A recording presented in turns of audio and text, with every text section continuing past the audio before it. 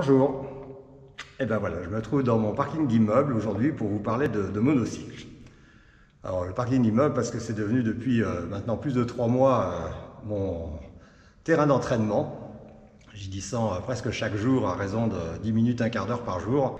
Alors cette vidéo s'adresse surtout à celles et ceux qui ont, qui ont peut-être vu des vidéos dans YouTube pour apprendre le monocycle comme j'ai fait moi et euh, qui en ont déduit qu'on pouvait euh, apprendre en euh, quelques heures, si ce n'est quelques jours.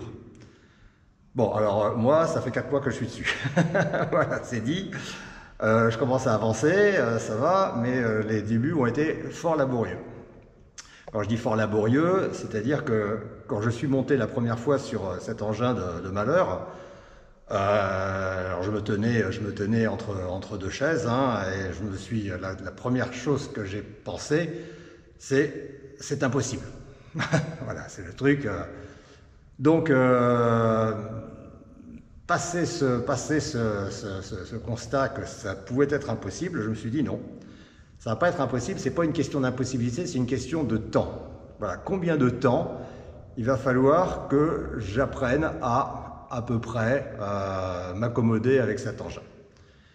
Et euh, j'ai fait un peu un pari avec moi-même en me disant, allez, te, ne te désespère pas, chaque jour tu descends dans le parking, et puis bah, tu, euh, tu, tu, fais un quart d'heure, une demi-heure, dix minutes parfois, et ne te décourage jamais. Alors franchement, il y a des fois j'ai failli me décourager. À la première semaine, je montais, j'arrivais même pas à lâcher les mains. Quoi. Et puis au bout de deux semaines, j'arrivais toujours pas à faire un, tour de pédale. Je partais, paf, je tombais, paf, je tombais, paf, je tombais. Donc c'est désespérant, parce que quand on voit des vidéos dans YouTube, ça se passe pas comme ça. Et en plus de ça, travaillant dans le cirque, je vois des gamins qui, euh, qui euh, ben voilà, pour eux, ça pose aucun problème. Ils montent sur un monocycle et ça, ça marche, quoi.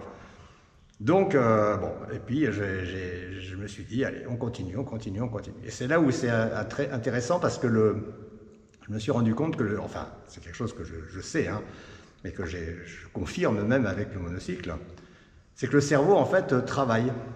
Le cerveau apprend et, euh, et il suffit d'en faire un peu, chaque jour. Et, c'est vrai pour tous les domaines, hein, que ce soit le monocycle, que ce soit le karaté, le, le, les langues étrangères. Euh, là, j'ai une de mes élèves qui apprend en ce moment l'islandais.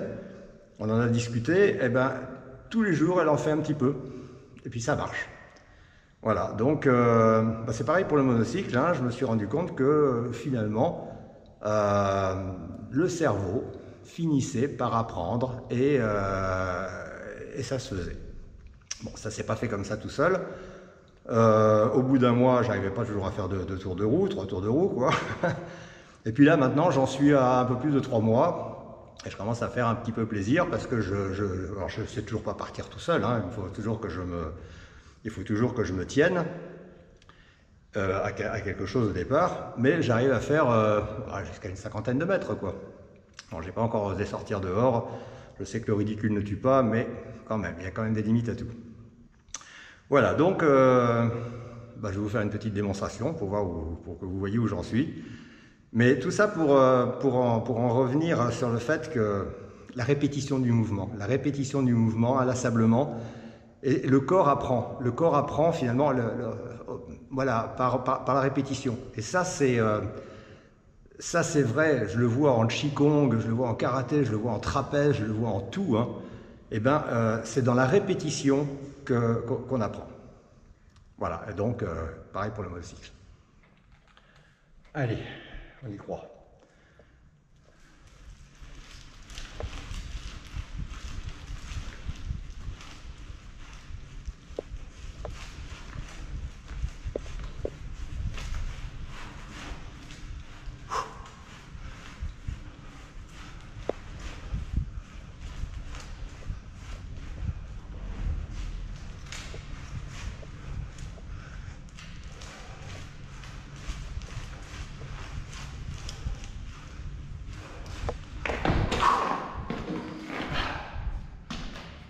Voilà, ça fait cinquantaine de mètres.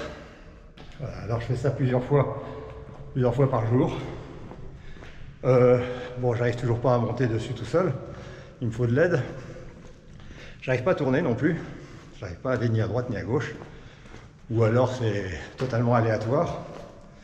Mais bon, voilà, je, je persiste.